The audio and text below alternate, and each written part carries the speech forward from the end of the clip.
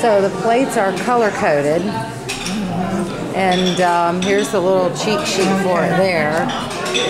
So if it's a red plate, it's 330 krona. If it's uh, green, it's 400 krona. See that? Yeah. Good. You know what you're doing. And then when you're finished eating, you go up here to the counter and you take your plate, see?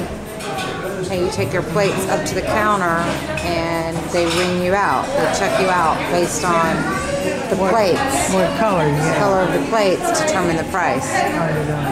That you pay. And that's what she's doing. Right. Yeah. Kind of cool, huh?